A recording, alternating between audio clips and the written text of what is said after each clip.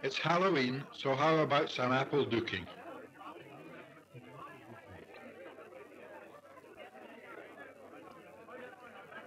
Let's see what the young folks can do.